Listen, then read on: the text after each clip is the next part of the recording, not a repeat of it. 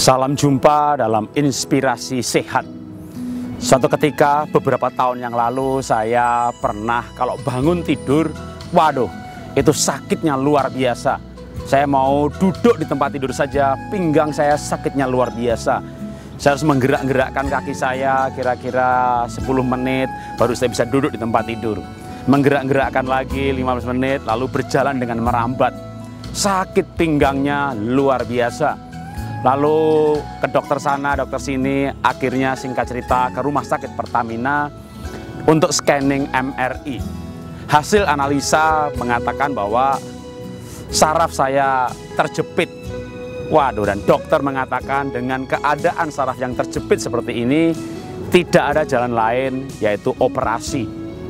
Saya jangankan operasi, saya tes darah saja bisa pingsan kalau melihat darah saya punya anak tiga dan dua di antaranya waktu lahir saya tunggui, saya pun hampir saja pingsan, sudah ambruk, duduk di kursi dan tersengal-sengal.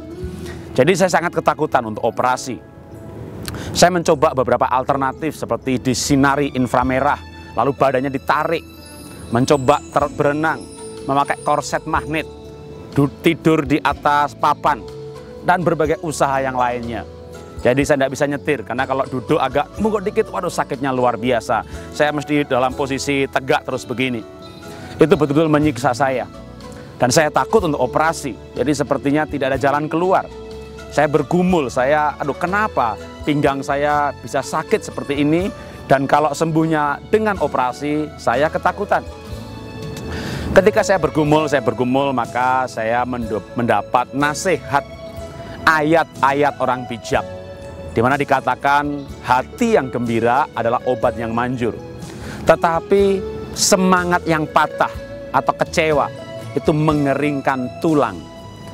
Saya seperti mendapat sebuah apa inspirasi, pewahyuan rema dari kalimat mengatakan bahwa semangat yang patah itu mengeringkan tulang. Baik dalam bentuk sakit atau semangat yang hilang. Coba periksalah hati Anda saat ini juga. Apakah Anda menyimpan kekecewaan tertentu, kepahitan tertentu dengan orang-orang tertentu? Saya memahami, saya mengerti betul arti kecewa. Karena saya pernah dikhianati, saya pernah dikecewakan, saya pernah disakiti hati orang lain, dan saya juga pernah kecewa. Tapi kecewa sama sekali tidak membawa penyelesaian, tidak membawa pemulihan. Ada alasan untuk kecewa, tapi kita harus mengambil keputusan. Selesaikan saja masalahnya, hadapi saja masalahnya tanpa kecewa. Ya, kalau Anda nggak suka dengan orang itu, datangi dan ucapkan, belak-belakan terus terang supaya dia berubah dan dia menjadi baik, tapi tanpa kecewa.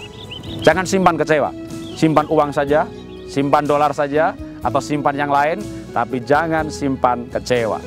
Karena kekecewaan hanya menghilangkan kekuatan, mendatangkan sakit penyakit. Karena itu, kalau Anda tidak mampu untuk melepaskan kekecewaan, Anda tidak mampu untuk memberkati orang yang mengecewakan, Anda boleh ambil saat teduh sebentar, renungkan kasih Tuhan. Alami kebaikan-kebaikan dalam hidup ini. Mungkin di tengah-tengah kebaikan tadi memang ada malapetaka, ada kesusahan, tapi tidak mungkin bukan dari lahir sampai hari ini Anda sial terus maka coba kumpulkan dan renungkan kebaikan-kebaikan, kemujuran-kemujuran, keuntungan-keuntungan yang pernah Anda alami. Gunakan itu untuk bersyukur dan gunakan itu sebagai kekuatan untuk melepaskan pengampunan. Dan rasakan kesehatan yang baru, kekuatan yang baru, bahkan mujizat kesembuhan akan terjadi pada orang-orang yang melepaskan pengampunan. Ada pemulihan di dalam pengampunan. Itulah inspirasi dari saya hari ini. Salam dahsyat luar biasa.